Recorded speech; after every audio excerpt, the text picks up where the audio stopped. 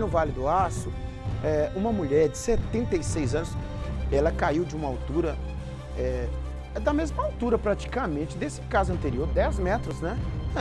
É, é a profundidade de uma cisterna onde a idosa foi resgatada pelo corpo de bombeiros, né?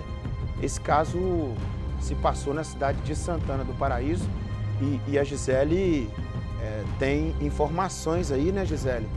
Sobre esse resgate com vida, graças a Deus, né?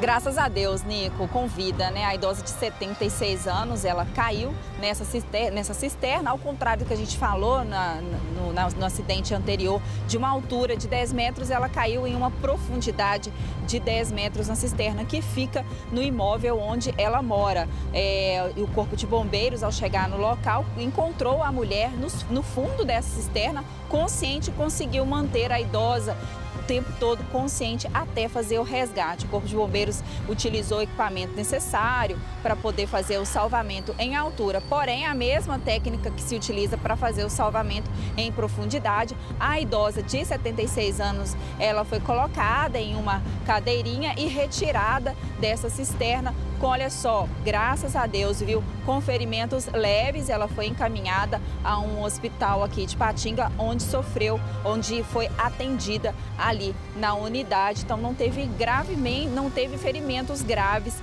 felizmente, Nico. Graças a Deus, Gisele. Gisele falando de duas ocorrências bem semelhantes, né? Ali do Vale do Aço, uma de Santana do Paraíso e outra lá de Timóteo. Graças a Deus, nesse caso, Santana do Paraíso, né? A idosa foi resgatada. 76 anos, gente, uma queda de 10 metros é. A gente pode considerar um milagre, viu? Pode considerar um milagre. É um momento do socorro e todo o cuidado, né? Porque dependendo do jeito que puxa, causa mais lesões, né? Lesão na costela, uma fratura no idoso tem uma repercussão muito mais danosa do que na gente mesmo, né? A gente mais novo. Apesar que eu já estou chegando também lá no, no, negócio dos idosos, estou com 50 anos já. Obrigado, Gisele Ferreira. Daqui a pouquinho ela está de volta aqui no BG. A Gisele, não que eu falei que eu estou chegando lá nos idosos, você viu que ela deu uma olhadinha, Jarão? É, eu vou completar 50 anos, não é idoso não? Ainda não?